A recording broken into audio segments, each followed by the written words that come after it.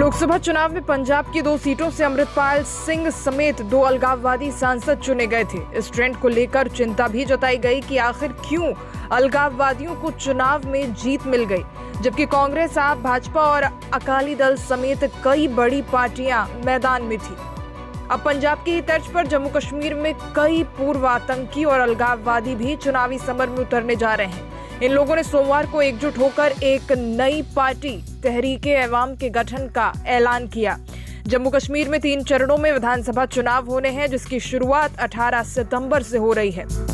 जम्मू कश्मीर में भी अलगाववादी राशिद इंजीनियर ने उमर अब्दुल्ला को लोकसभा चुनाव में हरा दिया था। तहरीके अवाम से जुड़ने वालों में से कई लोगों का कहना है कि हमने इस पार्टी का गठन इंजीनियर की सफलता को देखते हुए किया है। तहरीके अवाम से जुड़ने वाले प्रमुख लोगों में से एक नाम अफजल गुरु के भाई का है। जी हाँ, अफजल गुरु वही जो 2001 में हुए संसद पर आतंकी हमले के मामले में 2013 में उसे फांसी दी गई थी। अफजल गुरु के भाई का नाम एजाज अहमद है। इसके अलावा एक और चर्चित नाम सर्जन बरकती बताया जा रहा है, जो फ़िलहाल श्रीनगर की जेल में बंद है।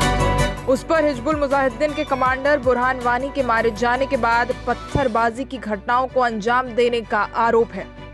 कश्मीरी पाइप पाइपर के तौर पर जाना जाने वाले बरकती अगस्त 2023 से ही जेल में बंद हैं। इसके बाद नवंबर में ही उसकी पत्नी को भी टेरर फंडिंग के मामले में पकड़ा गया।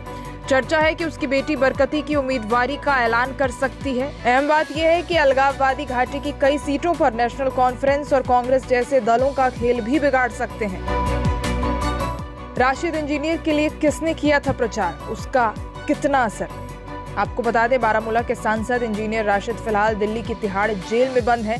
उसने अपने बेटे के ज़रिए चुनाव प्रचार कराया था और चार लाख सत्तर हज़ार वोटों से चुनाव में जीत हासिल की थी।